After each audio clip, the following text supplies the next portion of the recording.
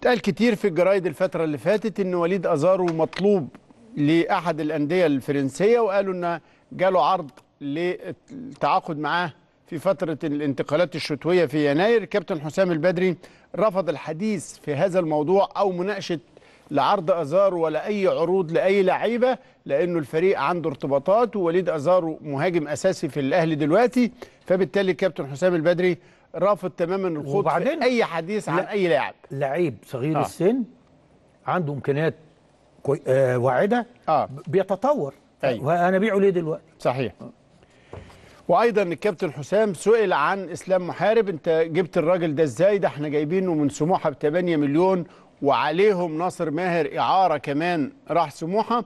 إمتى هيلعب إسلام محارب؟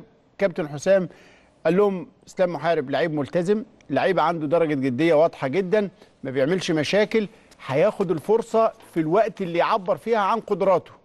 ودي مسألة مهمة جدا لأنه لو المدرب مش حريص على لاعب واختار له التوقيت المناسب في الظرف المناسب مع المنافس المناسب عشان فعلا يستفيد من الفرصة اللي أخدها مش هيستفيد. فبالتالي كابتن حسام البدري. وهو بيشيد بإسلام محارب بيقول إنه فرصته الحقيقية جاية إن شاء الله. مش بس كده. آه. أنت دايما بتدور على اللعيب اللي بره ليه؟ أيوه. طب ما هو اسامه حرب هيخش. في حد هيطلع. اللي هيطلع هتقول ده إيه؟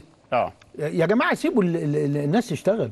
أيوة. ما ينفعش كل لعيب لازم يتسأل عليه. أنا بفكرك إسلام محارب ده هو الدور بنفس القدرات ها؟ على سن أصغر كمان آه، بتاع مؤمن زكريا. مؤمن آه.